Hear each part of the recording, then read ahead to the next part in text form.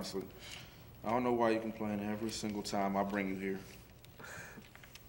Seriously, I mean, okay, give me give me a reason why you don't like this place. She asked if I wanted the Asian zing sauce ones. So she asked me if I wanted my coffee black.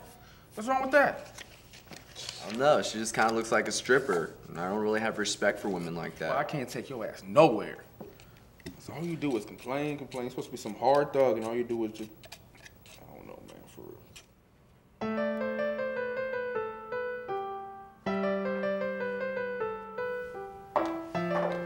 weather's bizarre.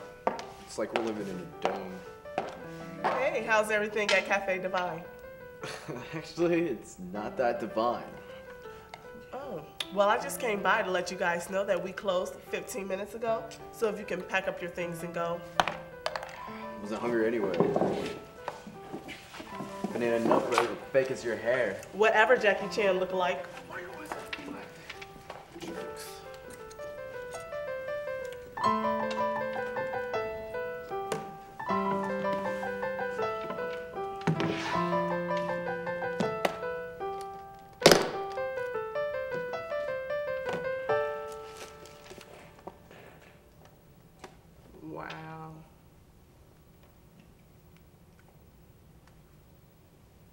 Hey, a couple of jerks just left the cafe along with their briefcase.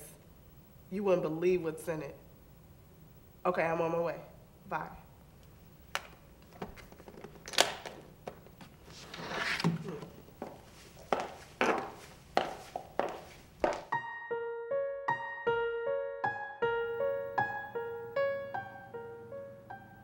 Look what the cat dragged in. Where am I? So where's your wife? You know, last I heard that she was shopping, spending our money. Here, take a look. Do you have this in your size six? I don't know where she is.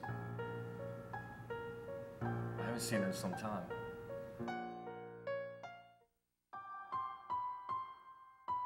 Mia, I have to leave town. On business? George, before you go, can you at least wake me? Mia, it's not business. I just need to clear my head. Clear your head? Could it be that because you owe your business associates so much money? Or is it because you're fathering an illegitimate child? So how the hell do you know about that? You're not married to a stupid woman, George. Listen, Mia, I can handle my business partners. But she'll ruin us. No, you did that. Listen, Mia, I never wanted things like this between us. I never meant to hurt you. But I have to go.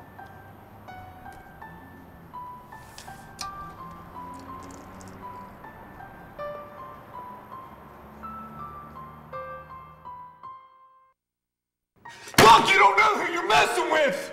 You're in no position to be making threats, Mr. Michaels. Yeah, and uh, you know, your wife is giving us what we want. Cause if not, uh, we're gonna be taking things from you.